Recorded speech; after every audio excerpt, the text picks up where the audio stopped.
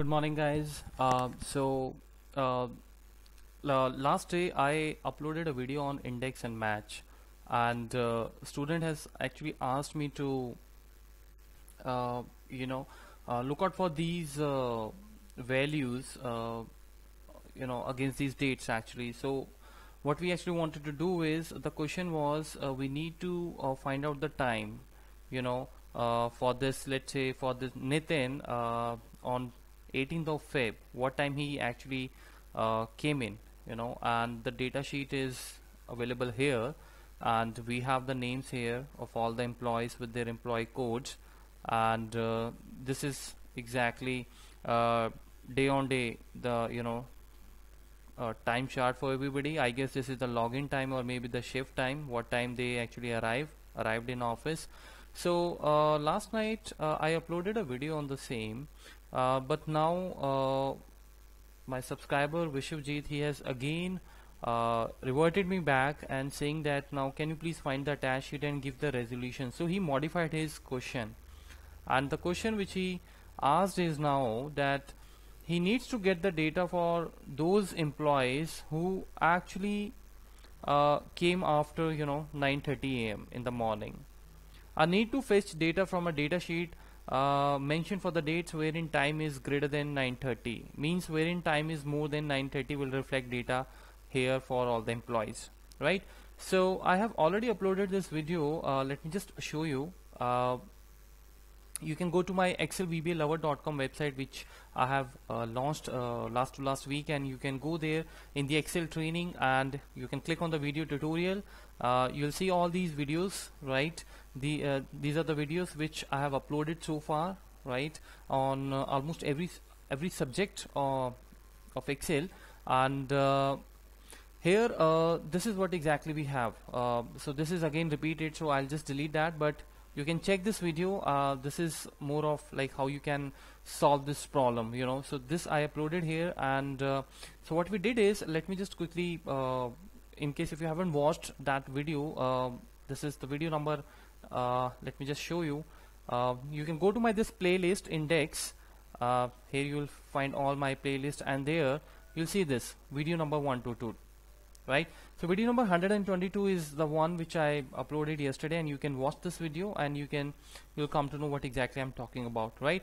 But uh, still uh, I will uh, be very quick in uh, you know forming this index with match right? In case if you want to take a you know uh, you want to actually get the understanding uh, the complete understanding starting from the scratch you can go and watch that video number 122 because I have spent almost like 15-20 minutes on that video uh, so uh, so what we did is uh,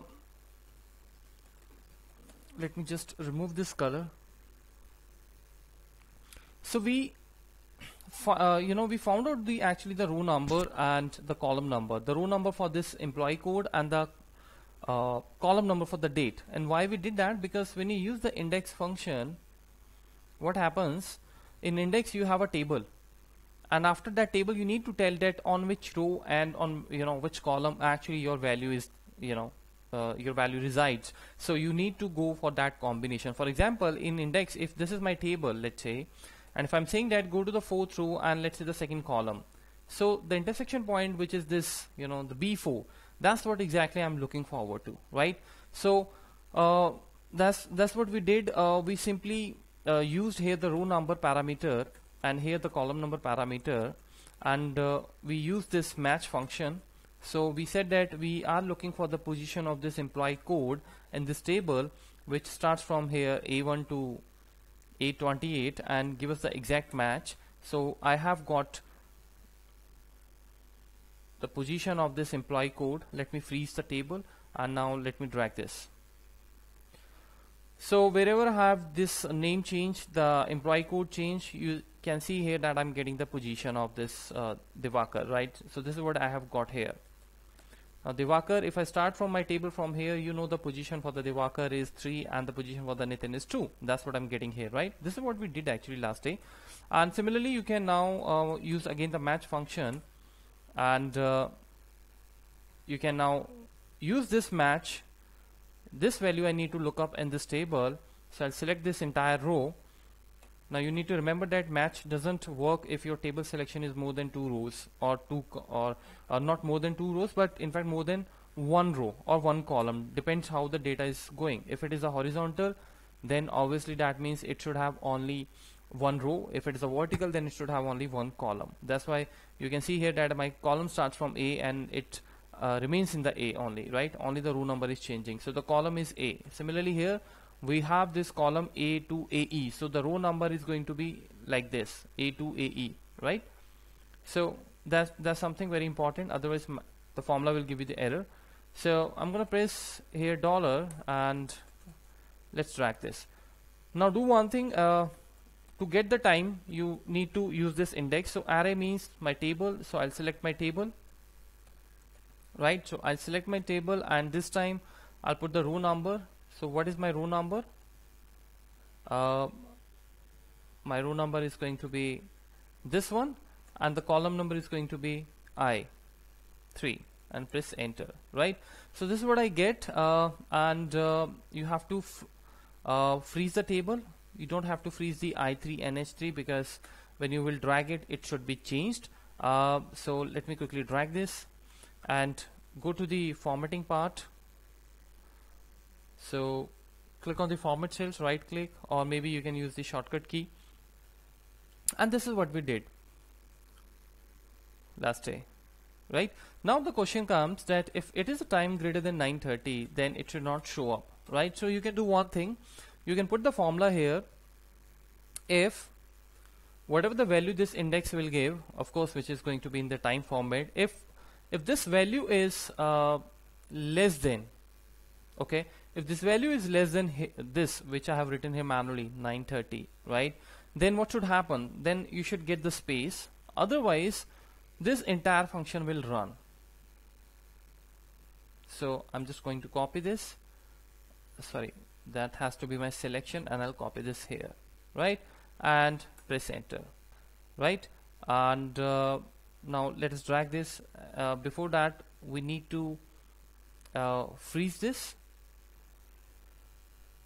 okay? And uh, I guess we are good with this.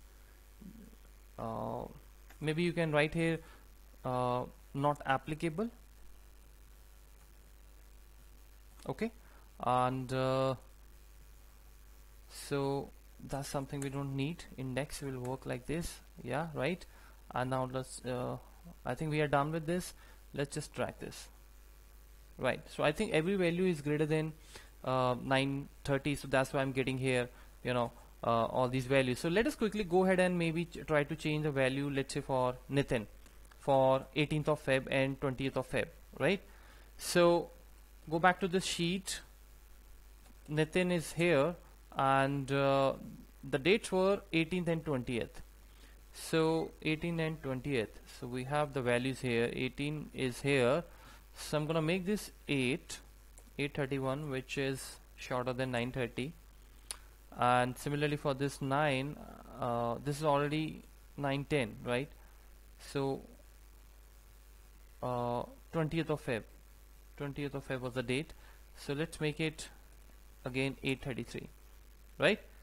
So you can see here that the formula is now giving us the not applicable result. So that's how you can actually use this condition that the time is going to be greater than this.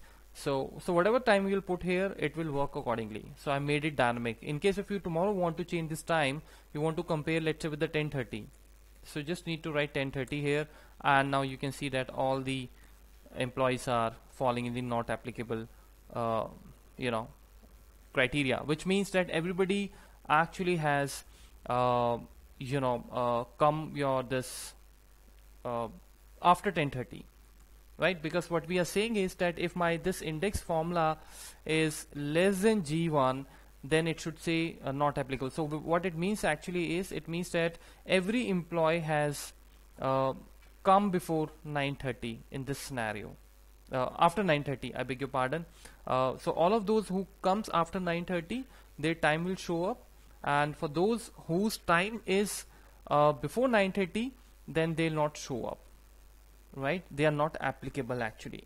So that's what uh, we can do here. Uh, so if I change this to 10:30 then as you know that everybody has arrived before 10:30 so all would go in the not applicable category because it is going to find here this not applicable uh, the condition is going to met here right?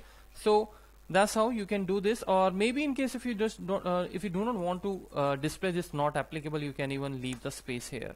And now you can drag it. So you will get the space here right? So the moment I change this to let's say 830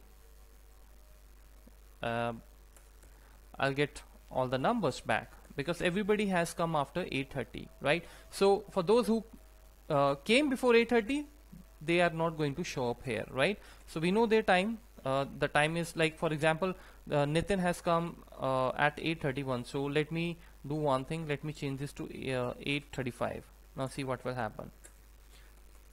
These two entries will be now removed. Now we have a formula here. This is not a blank cell but the formula gives us this blank value right? So this is actually very easy. That's how you can uh, build up this index function with the if. And uh, so if generally works how uh, if actually works on the two conditions. You give the test here and then you say that if the test is going to be true then go to the true condition. If it is not going to be true then go to the false condition. So that's what we are saying here right? Our logical test actually says that this index will give us the value and whatever the value will come if it is going to be shorter than this G1 which is my 835 which is my time then I should actually get this you know space otherwise if it is not then I should actually immediately go ahead you know and give us um, and get the value back the time when he actually he or she came up right? So uh, that's the video number um, 123 guys for you and I hope you like this uh, video. And if you like the video don't forget to click on the like and do subscribe to my channel as well and uh, you can see all the videos here. Or you can go to my website. As I was telling you in this tutorial section you can you'll find this video on this index. And uh, you can know all the other things as well. Uh, you can go through the you know uh, these are the online uh, demo videos which uh, which are there for you. These are the free videos. You can go through that. If you like the concept do let me know about it. As you know I also give training online. And this is the VLOOKUP videos. Uh, these are the super strong arrays. Very powerful technique uh, which we use in Excel. So you can uh, uh you know uh, find out your this relevant subject and you can check the videos there and just just click on that link in case if you're looking for how you can remove the duplicates. You can play this you know watch this video on the YouTube or maybe on this website platform. And these all videos are available in my YouTube channel as well. You just need to click on the playlist and this playlist will you know uh, take you to all my videos uh, like the videos on the conditional formatting the videos on the arrays the videos on the VLOOKUP.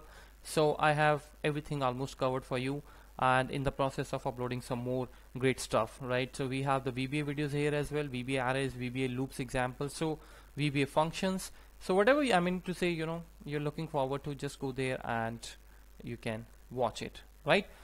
So that's it for now and I'll come up with some another video. Till then take care of yourself and have a happy learning bye bye